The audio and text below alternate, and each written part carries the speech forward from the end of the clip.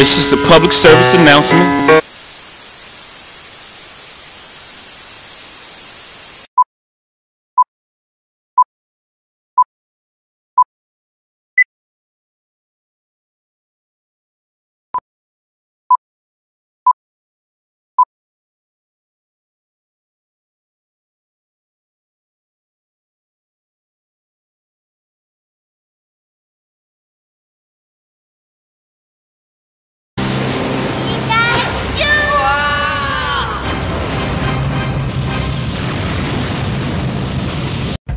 Thank you.